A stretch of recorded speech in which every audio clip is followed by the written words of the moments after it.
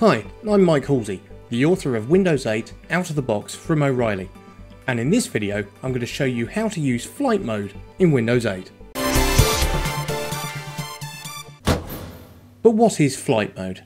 Well, flight mode is a legal requirement if you want to be able to use an electronic device on an airplane. You might already be familiar with using it on your smartphone. Well, now it's been included in Windows for the first time with Windows 8. But how do you find it and how do you use it?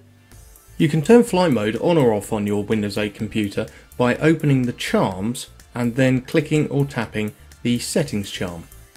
In the bottom right corner of your screen you'll then see the six main control icons and it's the first one of those, the one in the top left, that you want, the network connection icon.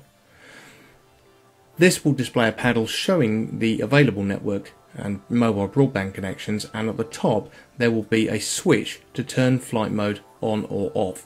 If you turn flight mode on, you will disable all radio communications from the computer.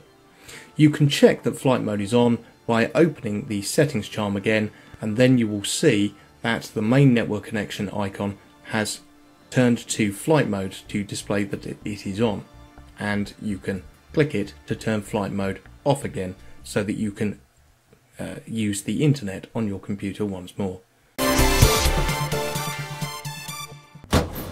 You can find much more information on how to get the best out of Windows 8 in my book, Windows 8 Out of the Box from O'Reilly.